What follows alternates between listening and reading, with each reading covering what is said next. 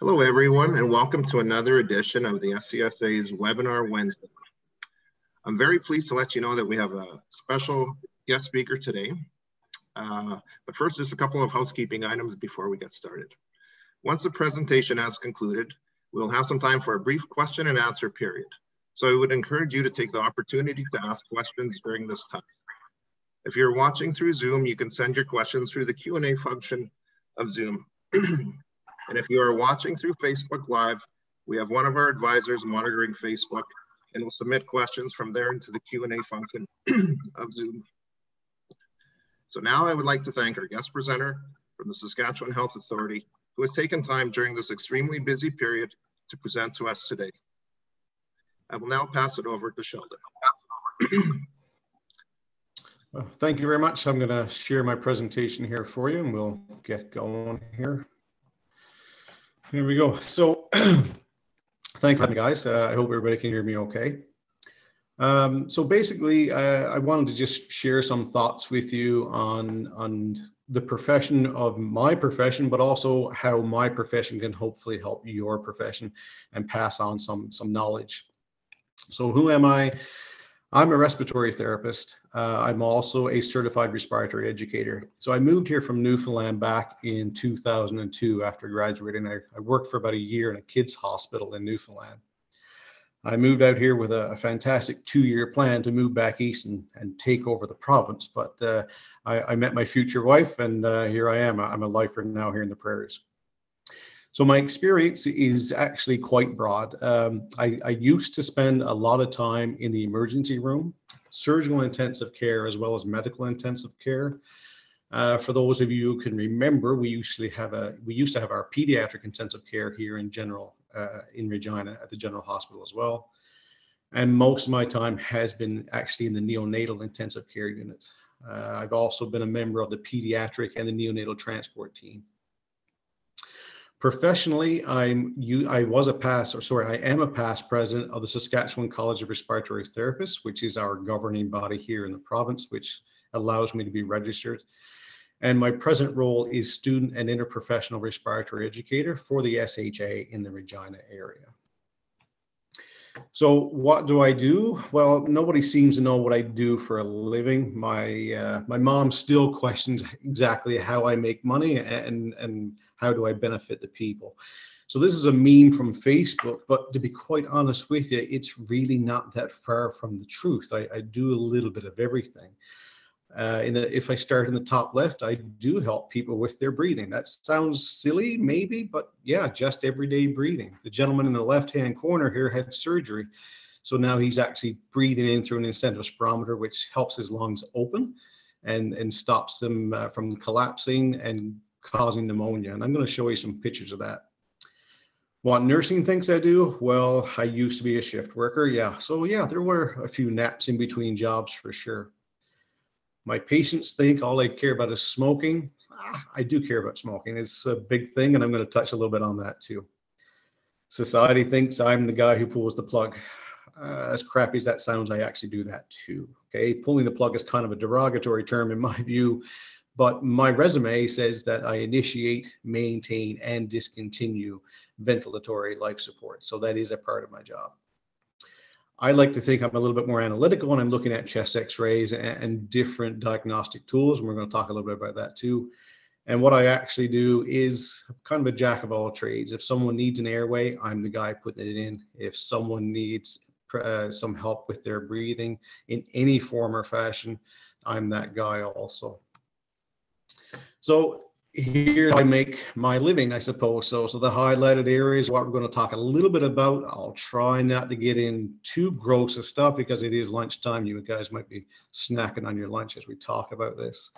But at the end of the day, if I go down through my breathing tube or my trachea, we're going to talk about this little area down here. So our lungs actually have breathing pathways all throughout our lung which come to these little cluster of alveoli. Think of grapes, for example. So we have a cluster of grapes surrounded by blood vessels. We breathe in. As we breathe in, oxygen is going to fill one of those clusters and CO2 or carbon dioxide is going to come out. This is a single gas exchange unit. So this is what the lungs are made up of. There's 300 million of these inside of your lungs. Basically, what we're going to care about is the air pocket itself, the blood that's coming in to pick up that oxygen and get rid of carbon dioxide, and this little selective membrane that's actually keeping the two separated.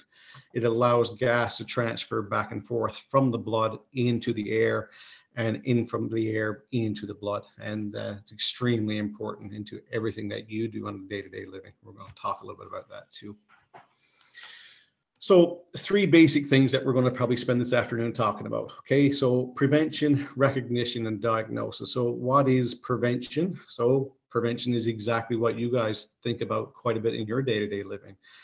And for me, it's how is my body protecting me and how can I help my body? So we'll spend a little bit of time talking about that.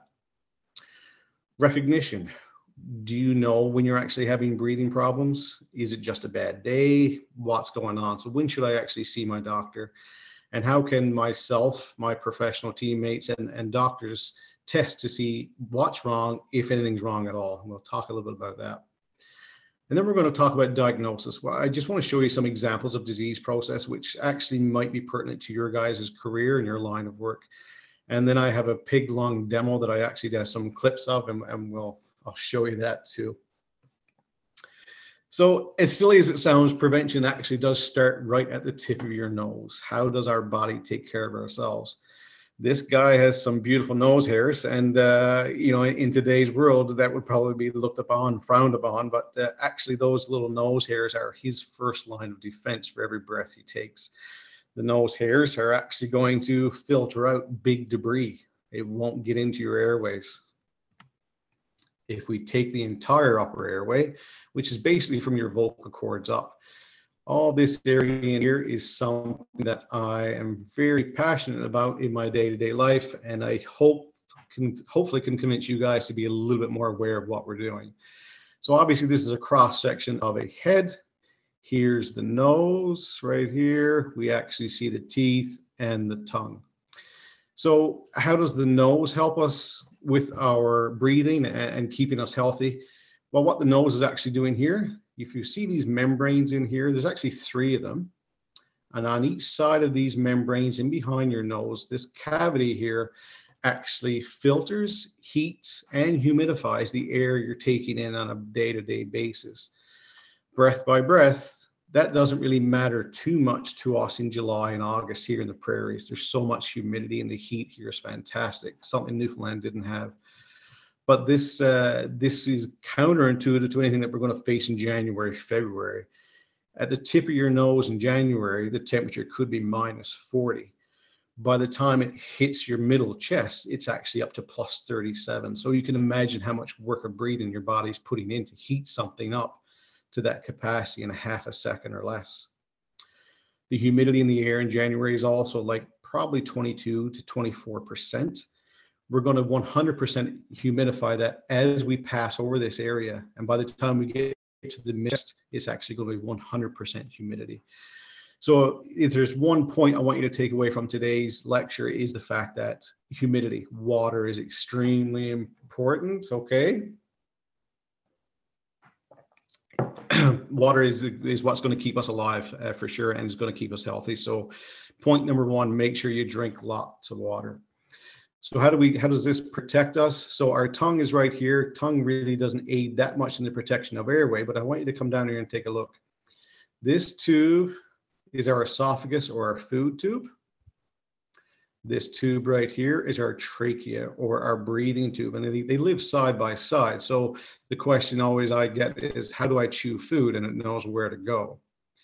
Well, right here is the vocal cords. This little slit right here is the vocal cords. And this guy right here, labeled A is the epiglottis. This is like a trap door. So what this trap door does is as you swallow, this trap door will close off this area right here and your food will go down the right way. If you've ever swallowed water or anything and it actually makes you choke, and, a very common statement is, oh, my food or my water went down the wrong way, this is where it went, right here, okay?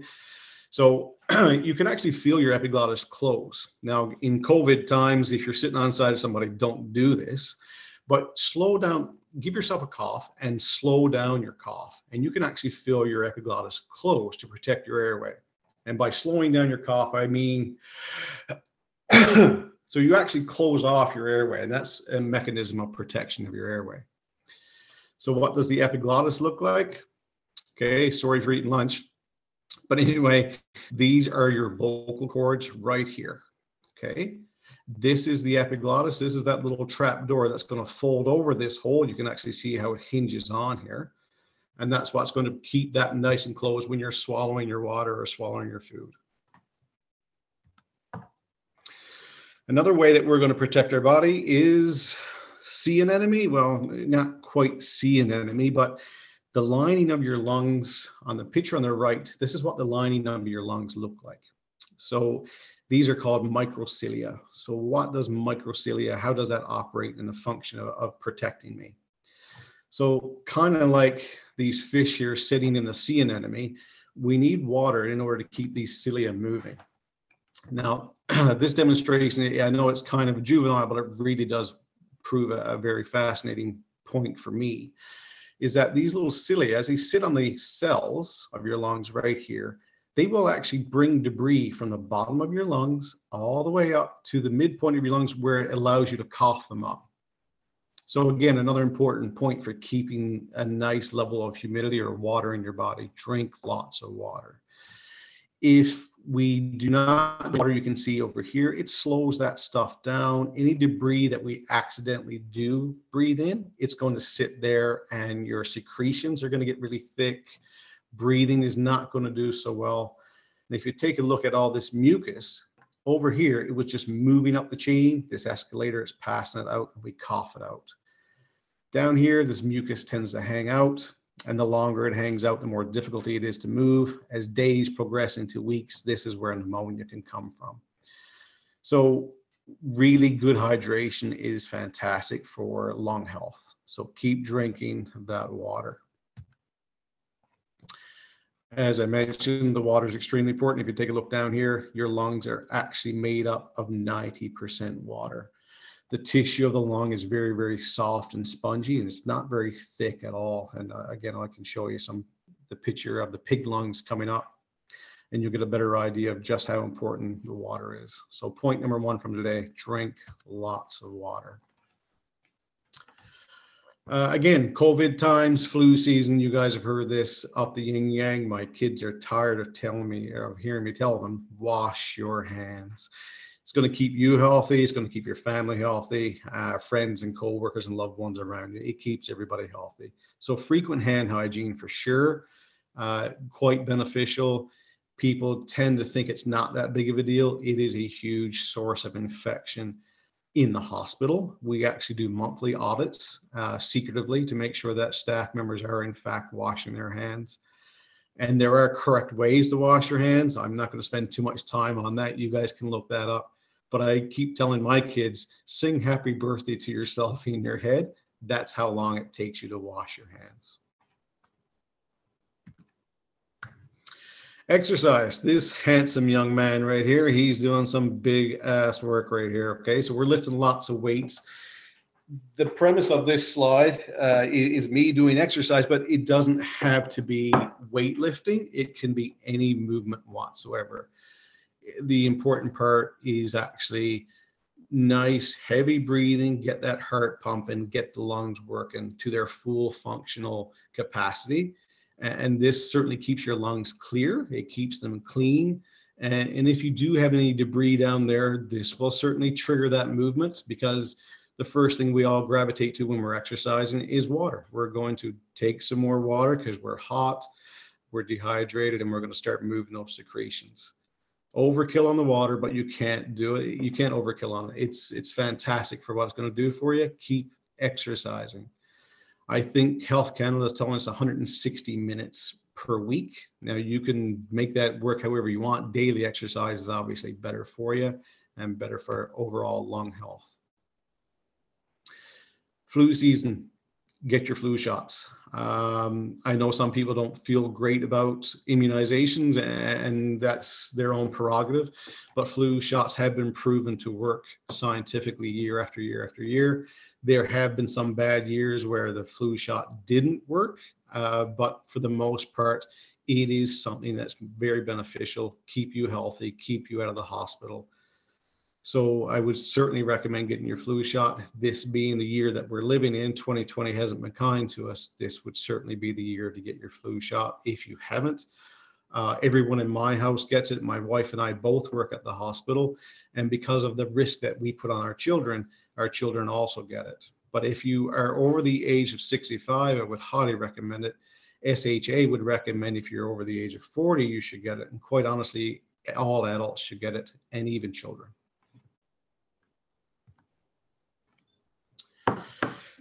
PPE masks. So this is obviously a big deal. So this is kind of what I'm talking about. So our body is protecting us up to a certain extent, but our body can't protect us against everything. And and COVID-19 is certainly proof of that for sure. And you're the type of industry that you guys are involved in. This is going to be some of the material that you're used to seeing. So the respirators on the top, these are considered N95. I'm sure you guys are probably familiar with N95. That's what I need to work. Okay, so these are the level of security that I need when I'm actually visiting patients. Uh, a couple of years ago, we actually hooked up with a system similar to this because we actually had an outbreak of Ebola uh, in Africa. And again, because COVID 19 has proven to us that people do travel all over the world. So we were prepping for a possible Ebola patients. And so we've all, retra- all of our RTs have received training on this type of unit also. The other respirators with the external filters, I'm assuming that would be something that, depending on uh, the type of job you guys have in construction, that would be something that you guys would be using for sure. And make sure that you wear them properly. Uh, as cool as these masks might look and they're going to save you, if they're not put on properly, they're actually a detriment to you. Uh, you think you're safe and you will put your safe put yourself in unsafe situations thinking that you're protected if the seal is broken or not actually put on properly the first time if the straps aren't tight enough if you have a small crack in the side it's all for naught uh, so make sure that you inspect your ppe make sure that you put it on the same time or sorry, the same way every time and make sure you do a seal check and go through your verification processes. And of course, it's Halloween, so if you want to scare the crap out of your kids, that's my game. So how do we recognize what's wrong? so basically, I want to talk about a couple of things that can make you see, you know what, maybe it's time to go see a doctor. Um, the clip on the right actually I, I, thought was quite interesting. This actually came out about two years ago, and this caused quite a stir in in my community because this is as horrible as it may look. This is quite fascinating. We only get to see lungs the way we see lungs is after death. So post mortem, we can actually take a look at someone's lungs. This is this person here was actually had internal bleeding, and their lungs actually filled with blood, and it clotted and of course, if you can imagine that that airway now is completely blocked, they weren't moving any air. They weren't able to take oxygen in. They weren't able to get carbon dioxide out. So after this was actually coughed up uh, by a patient, it actually came right out of their lungs and the blood clot held the exact same shape as the entire right side of their lung. So this would be the airways right? And if the airways are blocked with blood, this guy uh, wasn't breathing that well. So this is from the American Lung Association. I actually have six warnings and I copied them word for word. Um, I didn't put any of this stuff in my own words because I do think that it's extremely important that people need to recognize what are six potential warning signs and when should I actually seek some medical help or a medical opinion.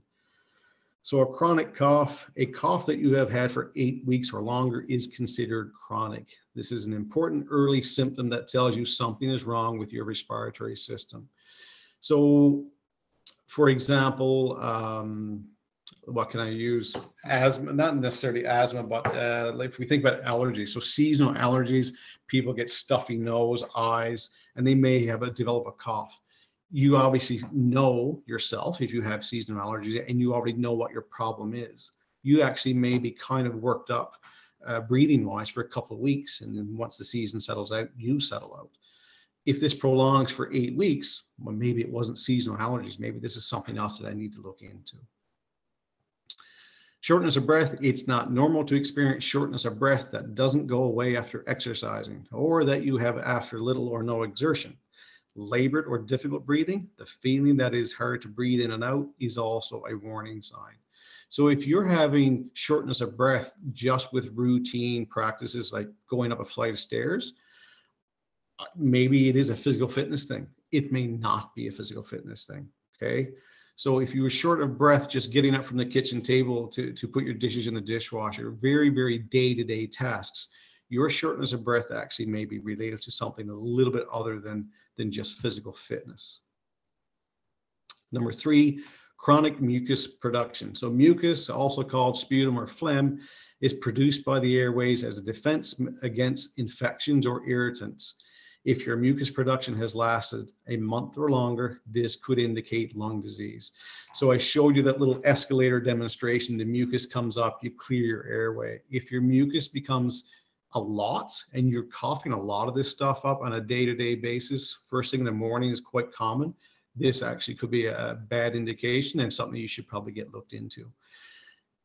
This may sound a little gross but even the color and consistency of that mucus can certainly give us some indications of what you could be dealing with and uh, that's also important to share with your physician Wheezing, noisy breathing or wheezing is a sign that something unusual is blocking your, your lungs, airways, or making them too narrow. So if you're familiar with asthma, that's the sound that asthma makes. Okay, so we hear wheezing, we tend to think asthma. But asthma is usually diagnosed in childhood. So if you're an adult and all of a sudden you just develop this sudden onset of wheezing, again, another warning sign that you should probably dig a little deeper and see what's going on. Coughing up blood. I don't know how much I'd actually need to describe that as being a warning sign. I think that one's pretty self-evident. But if you are coughing up blood, it may be coming from your lungs or upper respiratory tract. Wherever it's coming from, it signals a health problem. So you're playing hockey and you take a stick or a puck to the face and you start spitting blood. Well, I think that's rather evident of what caused it.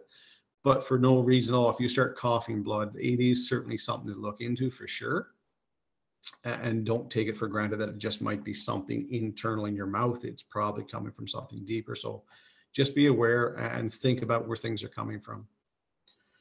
Chronic chest pain, unexplained chest pain that lasts for a month or more, especially if it gets worse when you breathe in or cough, also a warning sign. Um, I, I, I, used when I gave a presentation similar to this, I used to pick on men because uh, we tend to be very prideful and, and, sit there in silence sometimes if you do have chronic chest pain. Uh, that's no longer the case. Uh, I think it's pretty even among the sexes these days that uh, we, we tend to think the absolute worst when we have chest pain. The things that feel the worst can quite easily be treated sometimes. Unfortunately, the longer you wait, the more difficult uh, the treatment actually may be, or the results might be even worse. So again, if you're experiencing that for a month and you have no idea where it's coming from, uh, again, something to take a look at. If you were body checking a hockey game and you have a sore chest, well, you probably know what's causing that. But if it's hanging on for a month, we should probably dig a little deeper into that. How's your physician going to help you once you've gone through these signs and symptoms and what are we going to look for? Well, probably one of the first tests we're going to look at is chest x-ray. This is a very normal chest x-ray. Air is dark, bone isn't. It highlights quite nicely and you can actually see the heart in the middle right here, okay? But all the dark areas within this area are actually air. So the lungs are actually taking in lots and lots of air. These little areas that you're seeing in here are just huge areas or, or collections of blood as the blood takes oxygen from the lungs and delivers it back to the body through the pump of the heart. Another test that I do, uh, the RTs or respiratory therapists, they will do arterial blood gas. So most people have in fact given blood um, by venous puncture, probably up in the crease of your arm if you're getting blood samples that comes from a vein. We're actually going to take blood directly from the pulse. The pulse is the final endpoint of fresh oxygenated blood that just got oxygenated by the lungs and then pumped out by the heart. It gives us a fantastic indication of how much oxygen is in there, and we have normals, and we know how much carbon dioxide is in there. So again, we have normals, and if it deviates outside of that, it can give us an indication that we may need to investigate further. Uh, it's a very simple test. It takes like two minutes. Uh, it does burn a little bit, but it's not bad and uh, it's actually helpful in helping us diagnose.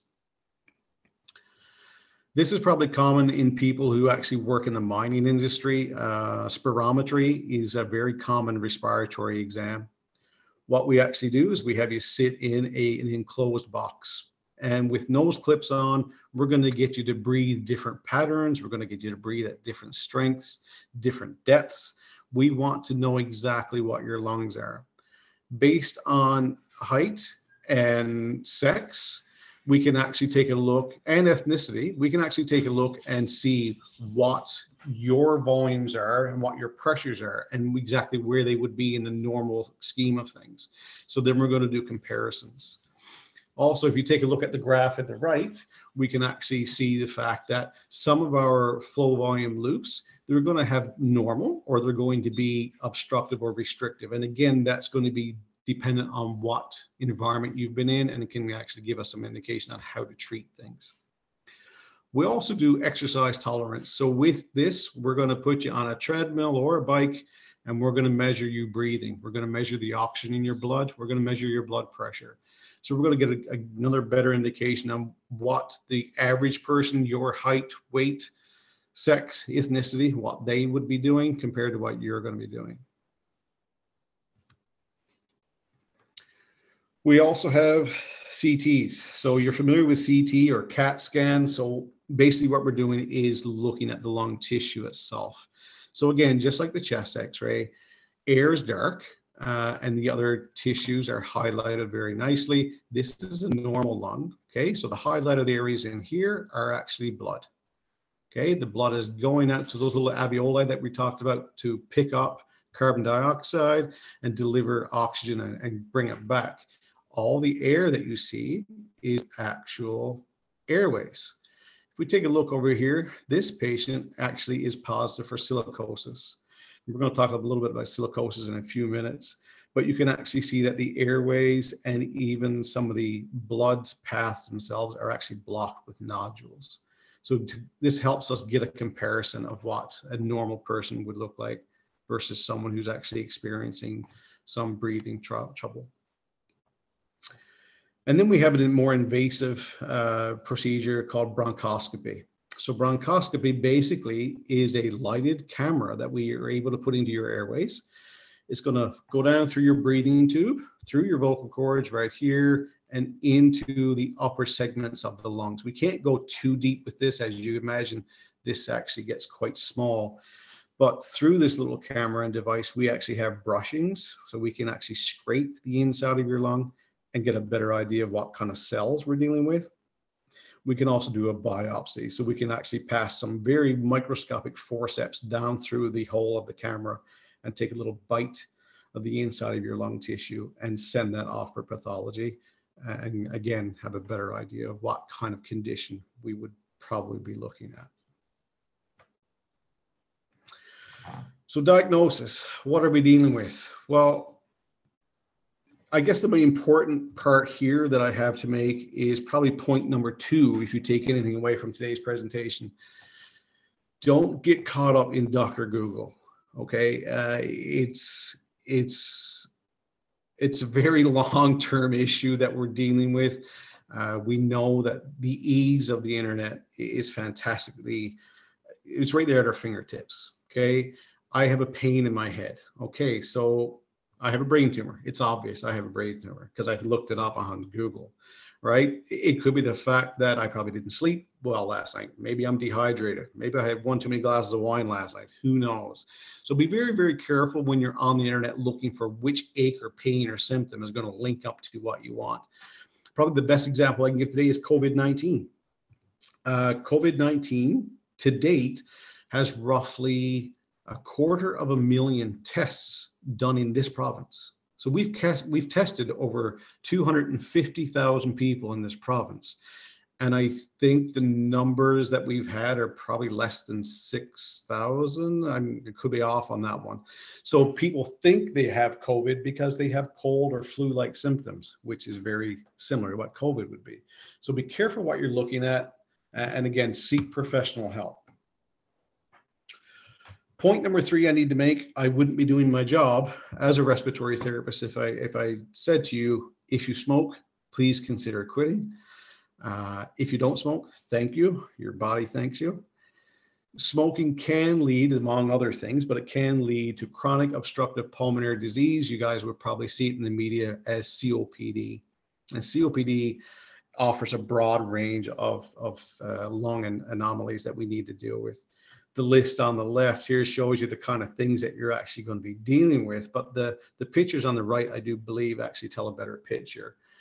So chronic bronchitis can certainly a side effect uh, of smoking. And what it's going to do, it, it's actually going to cause your airways to narrow in. So if you take a look at this side over here, we have nice normal airways. So these are the pathways leading to the alveoli that I talked about.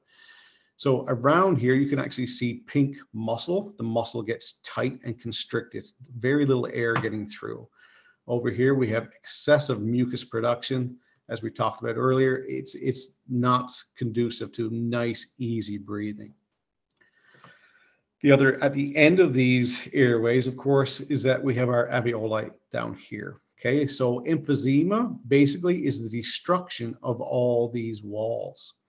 Well, how is that important? Well, in order for us to get good gas exchange, oxygen in, carbon dioxide out, each one of these alveoli are wrapped with blood vessels.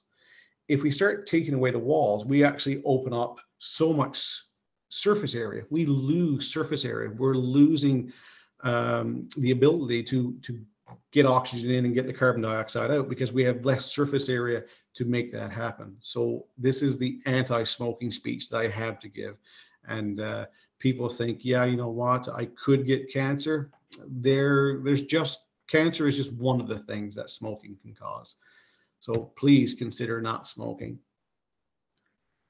I enjoyed preparing for this presentation because it made me go back to the books a little bit silicosis is not something that I'm extremely familiar with. It's not something that I see in my day-to-day work because again, I do most acute care, things that are needed to be done right now is probably the premise of my work. So silicosis became really interesting when I was preparing for this. I know what silicosis is, and I think you guys do too, that it's basically you're inhaling the dust from the area that you're working in, typically silica, but it could be other uh, airborne dusts also. So what happens to the silica dust is that as you inhale it, and as you can see over here in the little graph, it just sits there in these little globules or, alveoli or air exchange units. The, silica, the, the silica dust itself is not the problem. What happens is that your body wants to fight that. Your body wants to protect you. So it starts to attack that. And unfortunately, it's actually causing scar tissue on the inside of that airway. And if we have that little thin membrane between the air and the blood, if that gets scarred, it doesn't allow for good gas exchange. What I found interesting about silicosis was the fact that there's more than one type, which I have to admit, it's been 20 years since I went to school. I kind of forgot. But if you're new to an industry, you can actually get acute silicosis just after a few weeks of exposure. So going back to our masks and our PPE, talking about the importance of that and how big of a deal it actually is to wear the proper mask, because you could actually have a, chronic cough, weight loss, sharp chest pain, breathlessness, and tiredness just after a few weeks of being this, being exposed to this. We also have the chronic side, 10 to 30 years exposure, and obviously the list on the right, the inflamed lungs and so on and so on. Not comfortable, not anything that's going to make you feel like you want to get up and go to work today or get up and do some exercise. It's it's not really there. This is the scary one right here. The accelerated ciliosis, silicosis, sorry, within 10 years of frequent silica exposure, swelling in the lungs, swelling in the chest, lymph nodes, and difficulty breathing. All three of these are quite serious, uh, and I think we can remedy it with proper PPE and, and wearing your, your proper mask. This should be eliminated. So familiar, similar to silicosis would be actual coal mining. Okay, so this is coal dust. So I know this picture is actually quite old, but if we take a look at this healthy tissue versus a 90, 90 year old school teacher versus a 40 year old coal miner. Okay, this dark area here is all fibrotic. And what fibrotic means is that there's no elasticity left in the airways. Okay, as you sit here now and just take a normal breath, breathe in, relax. When you relax, the elasticity in your lungs just it just forces the air out. You're not doing that over here. There's no elasticity left. So the fibrotic ta- fibrotic tissue takes that away. So again, if you take a look at my picture over here, you can actually see our guy wearing his proper PPE and how important that actually is. So I did mention earlier talking about seasonal allergies, and you can actually see the, the, the dust or the pollen coming from this plant. That's not what I really wanted to talk about. What I wanted to talk about was the picture itself. Take a notice of how that pollen is just in the air. Okay. If you are a seasonal allergy sufferer, you know what this looks like and feels like in the spring of the year. In the construction industry, there are different ways that we could be experiencing that hantavirus is a very very scary disease um, it's it's not something that's we're going to see every day we we are we manage we do typically see two to three cases per year in this province if it's caught early it is very treatable but it's a very fast moving virus and unfortunately it does result in death more frequently uh, than it should so in the construction industry, would, this would be involved in the cleaning up process. So as you're moving, dusting, whatever the case may be, and you're sending things into the air. So the, the virus, which is in the rodent feces, okay, deer mice are prominently the, the rodent that carries this. If that's in the air and you breathe it in, it will get into your lungs and it just starts to create this immune response. Again, your body is trying to attack it, make sure that you're safe. But by doing that, the lungs become very swelled if you scratch yourself, you'll notice how it gets red and swell and a little bit sore. Imagine that on the inside of your lungs. Okay, as your lungs swell and get tight, you can no longer um, breathe. That that's taking away that area that you would actually use for gas exchange. So hantavirus can be very very serious. Like hantavirus or, or rodent feces and urine being spread in the air and dust, this is actually asbestos. So when I say down in the bottom, you'll notice that it actually says 50 micrometers. That's extremely small. So from the, my knowledge, asbestos is fine as long as it's intact. It's the movement of asbestos that puts it airborne. And these things are very needle-like. Okay, asbestos is one of the scarier ones to me because once this actually gets into your airway, asbestos needles and fibers are so small. As it enters the cell because as you breathe it in will like go into your lung it will enter the cell it can actually change your internal dna so that's microscopically small. It can actually change your micro your dna inside your lungs the way asbestos actually affects your lungs is the lining of the lungs. Okay, so you guys have probably heard of mesothelioma, which is actual cancer of the lining of the lungs and it causes this plaque formation, which it makes it extremely hard to breathe, number one, and it takes away the surface area where gas would enter and leave. And of course, well, cancer. So again, back to the proper PPE and proper mask wearing. Asbestos is quite scary for sure. This is, seems a little bit different, asbestos, but many other long-term uh, uh, breathing uh, conditions can actually be identified by this disorder. This is called digital clubbing. So if you take a look at the fingertips, they actually become quite bulbous and they're usually very pink and warm to touch. There's a lot more blood there. This is indicative, indicative of long-term uh, decrease in your blood oxygen levels. So again, minus the all the coughing and the mucus and stuff that we talked about earlier, this can also be a predominant indicator that there's something wrong. And it's usually when I think of construction, it is something that is linked to asbestosis. Okay, so that's a lot of the information. Uh, now I want to take some uh, some time to actually show you my pig lung demo. Uh, as I mentioned, I am a student educator. And I, the SHA was kind enough to let me purchase some pig lungs. And uh, these guys are actually preserved lungs. Hopefully the video comes through for you guys.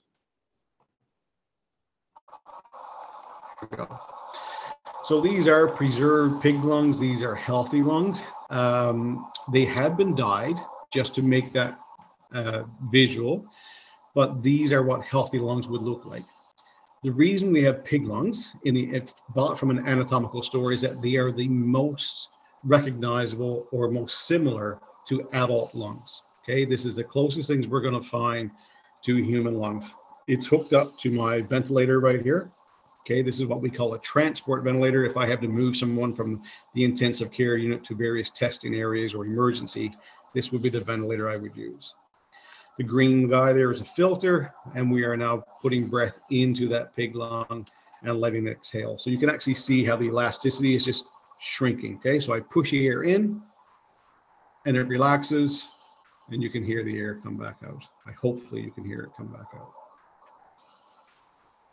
So this guy lives in my office in a little little container with its formaldehyde. I'll just move to the next slide here. So I haven't taken it out in a year. So I thought this was quite interesting. Before I started, uh, let me just show you like this area over here is actually all air Okay, air is entering the lungs. And this area here would be consol- would be called consolidation or collapsed lung. Okay, so this is as I start this, we'll see the air actually enter in, and all these little small alveoli that I showed you at the very beginning will start to actually inflate.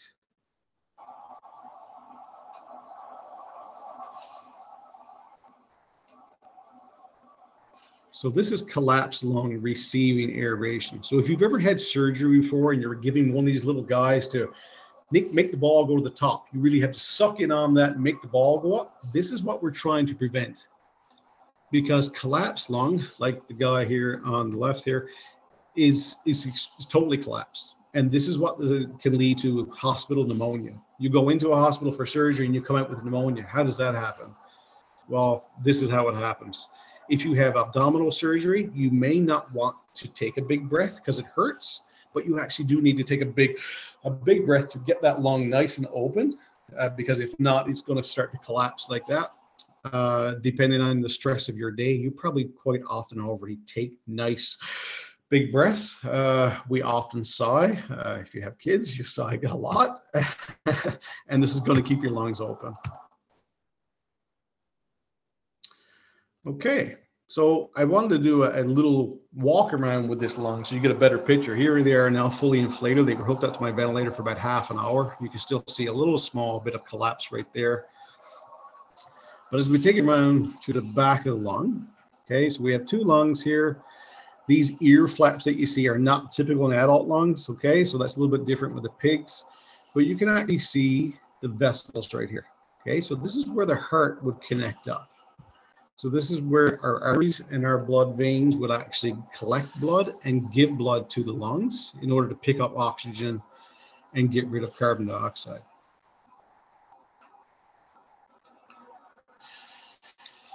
So as I demonstrate there with my fist, this is where the heart would typically live. Okay, so it's going to be pumping blood to the lungs and to the body.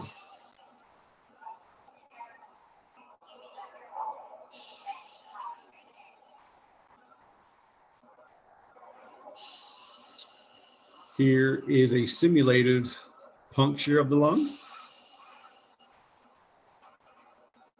So air would be actually squeezing out there along with blood. But again, the overall lung itself is quite healthy. If I, uh, if I actually squeeze the tissue of the lung over here, I'll squeeze the air out of it, causing a collapse. And then on the next breath, you'll actually see the entire lung just fill itself back up. So the tissue is nice and spongy, very healthy lung nothing wrong with that lung whatsoever.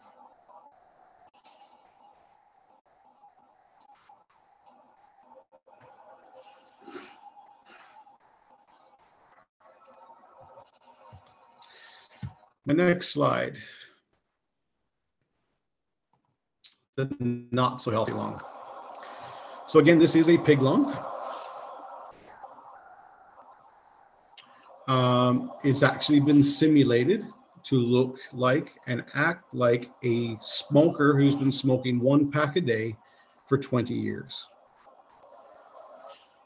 So my understanding of it, once the the pig was actually euthanized, the lungs were taken and actually hooked up to a high-speed breathing machine where smoke was literally pumped into these lungs to equate 20-year smoking history. We actually have math to do that, and the math is very simple.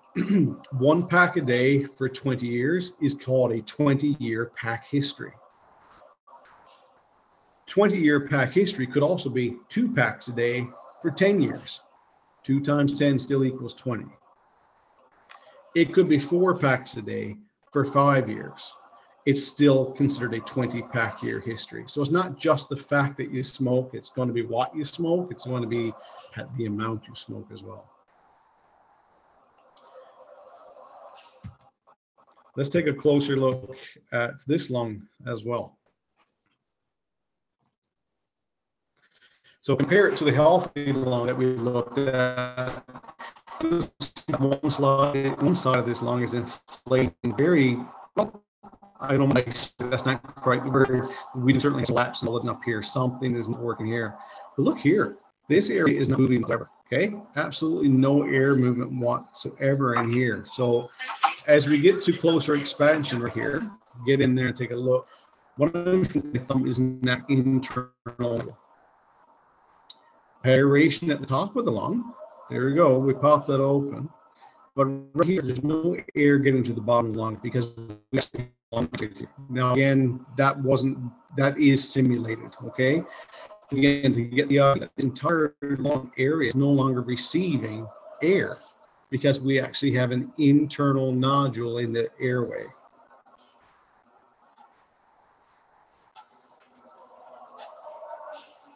If you listen closely, I'll show you where the heart lives. You can actually hear air leaking out.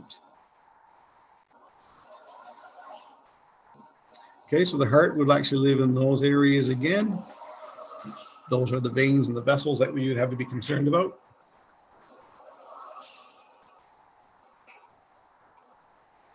And this is where the heart would live again.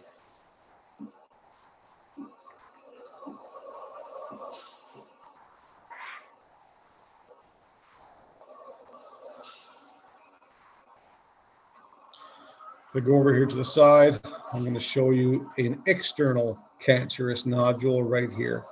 So again, I showed you just how soft and, and fluffy, so spongy that the, the lung tissue is. This little white nodule here is quite hard. So this would be a cancerous nodule. Surgically, this one would be easier to remove because it's actually external as opposed to the first one I showed you, which was internal, which would be absolutely horrible to remove or treat and just watch the way that the air is leaking around there. So the more air that's leaking at the surface of the lung, it's actually not doing gas exchange. We actually don't have any air going into the blood, so it's not really working appropriately.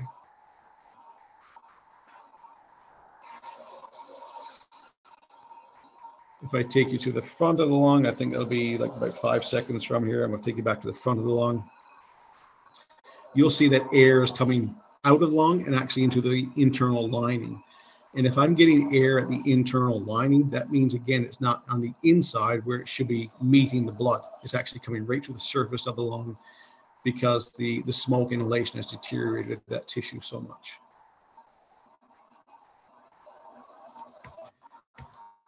So to conclude with this part, basically, let's just take a look at both of these for a minute and see like, where lungs do you, what do you think is working inside of you? And which one do you think is going to be hanging around the longest? Which one is going to see its grandkids its great grandkids okay?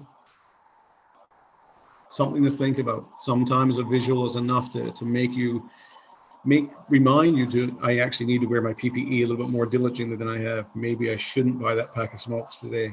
Whatever the case may be Well, guys, that's pretty much it. That's all I have. Um, this is Respiratory Therapy Week in Canada. Yay, RT. So we do great work. Uh, COVID has actually put us in the limelight. We're, we're pretty good at what we do. Um, if you have any questions about what RTs actually do, you can look up Saskatchewan College of RTs. Uh, there's some information on there, as well as our national association, which is the Canadian Society of Respiratory Therapy. You'll see lots of information there of what we can do and what we offer and how we can help you live a happy, healthy life. And that's all I have. Hey, Sheldon, can you hear me? I sure can. Right on. Well, thank you very much. That was excellent. Really interesting, those visuals, uh, seeing the difference between the healthy and unhealthy mm-hmm. ones uh, really, really sent that point home. So thank you very much. Uh, typically we go an hour for these webinars. We do have a few questions that have come in. So do you have a little bit of time? We're, we're still with, within that hour. It may take us a little bit past.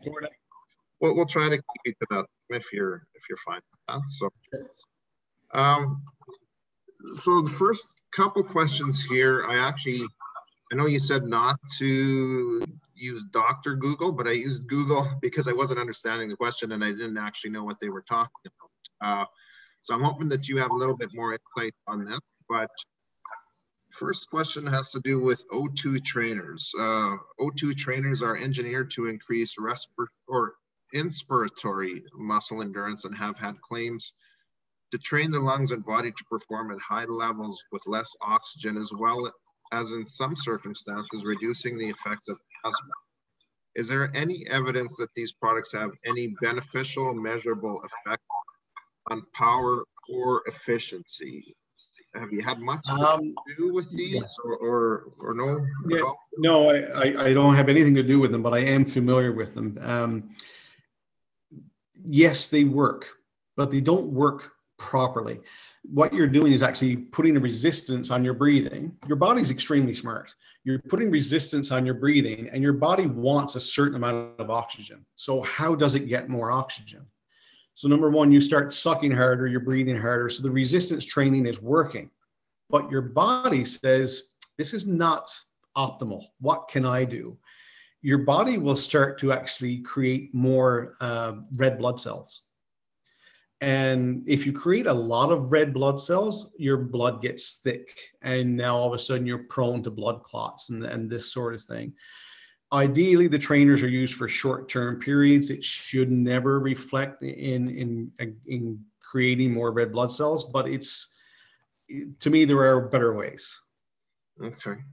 Well, it kind of leads into another question that I had come through here. It's dealing with like right now, through COVID and having to wear masks for as long a periods as some people have to. For for instance, our kids that are going to school and wearing masks throughout the, the course of the day. Is, is there any chance or does that have any negative effect on the lungs in any manner? No.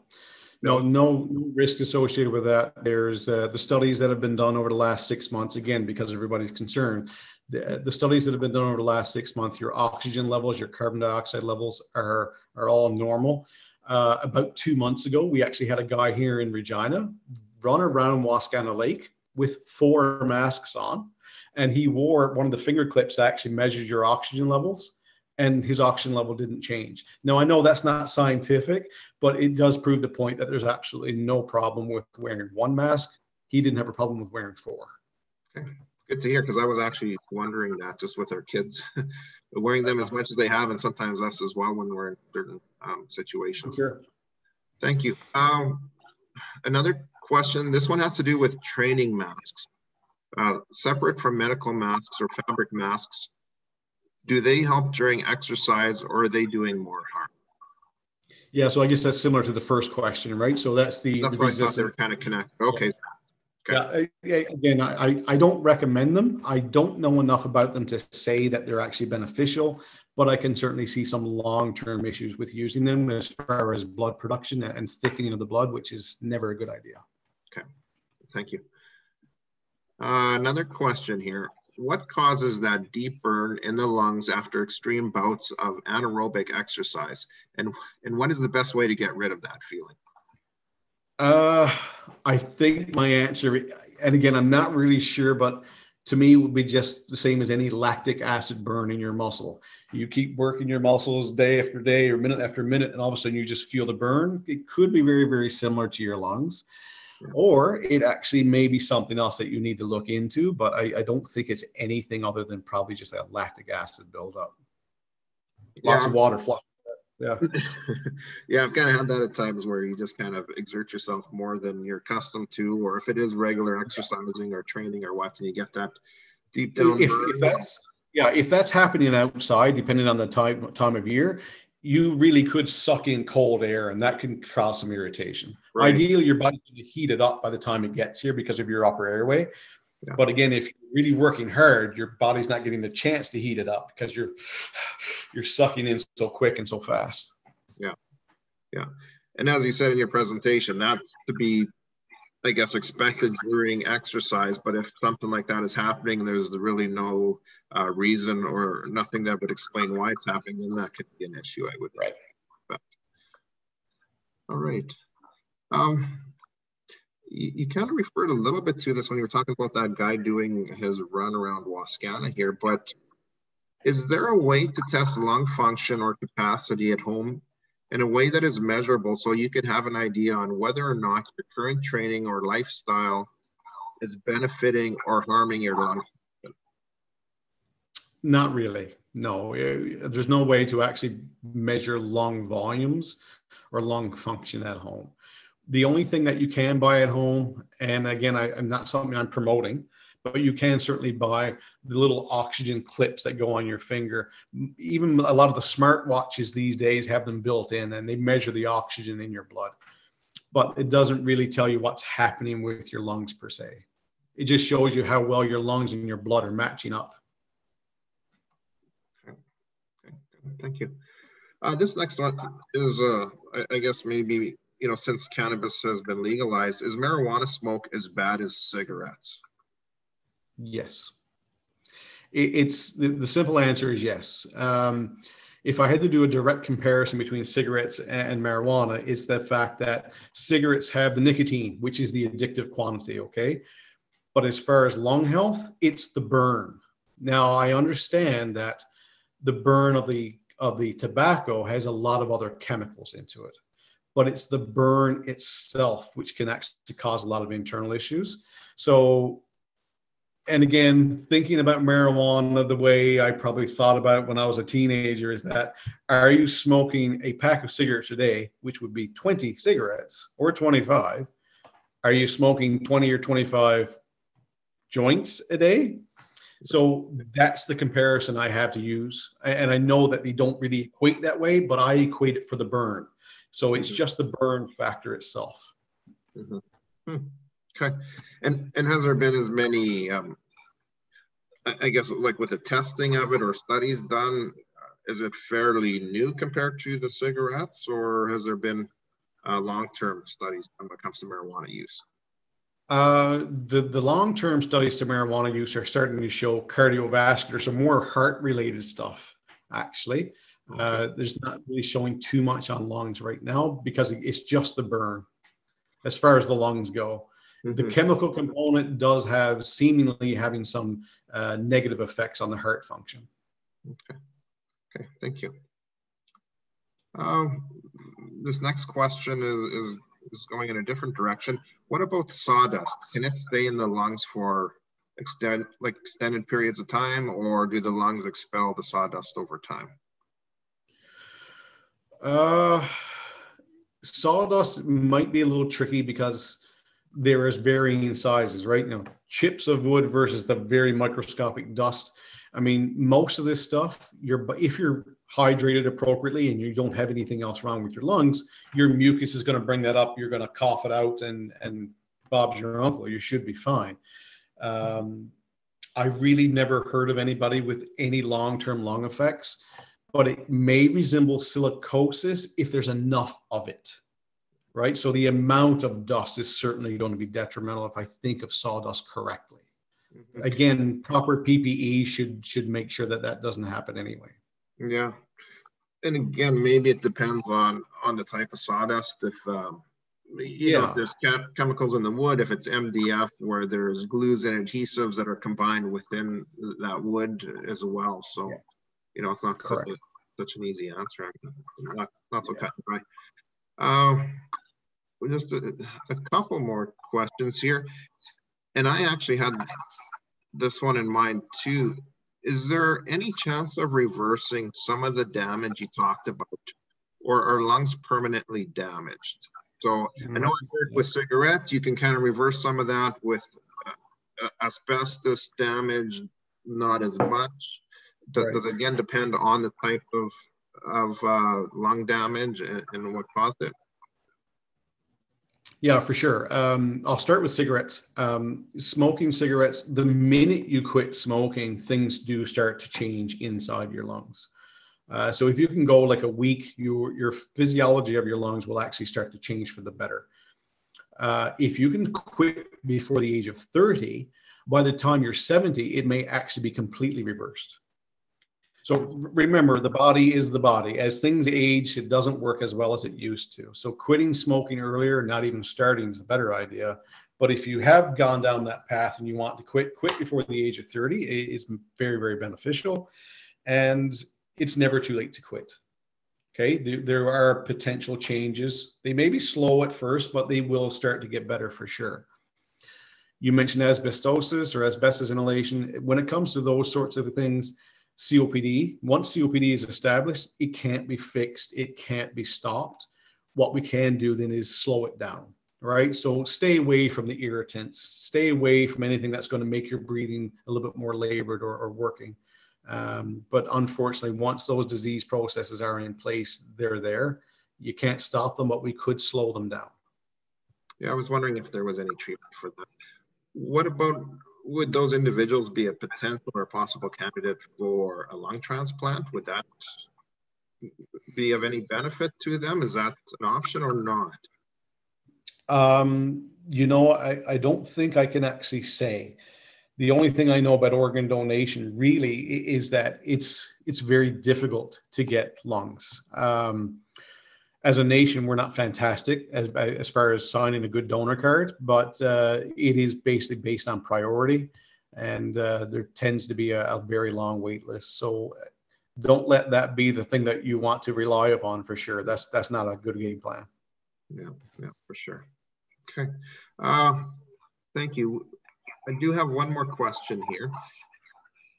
So we talked a little bit about the mask, and you said um, they, don't affect the lungs negatively, like as far as what we're wearing in the classrooms or what, or what the kids are. Can a mask have have negative? And maybe this isn't your area. Negative sinus effects. My son has allergies, and has had most or his most extreme and longest lasting symptoms since returning to school and wearing a mask most of the day. Um, that's a really good question. Um, one of my coworkers actually does have seasonal allergies and has asthma. And she wears the same mask as I do, and all of a sudden her allergies and her asthma become very, very hyperactive.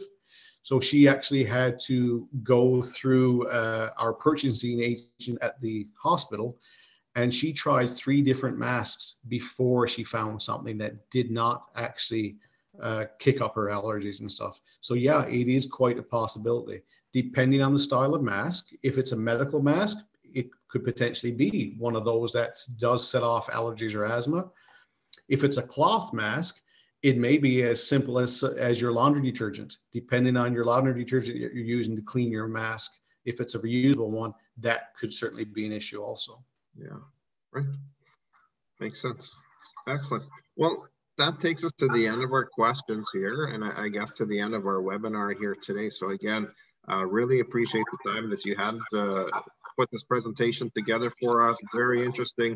I learned a lot, and I'm sure those that are watching today have learned a lot as well. Again, thank you Good. so much for take for taking your time with us today here, Sheldon. Yeah, thanks for having me.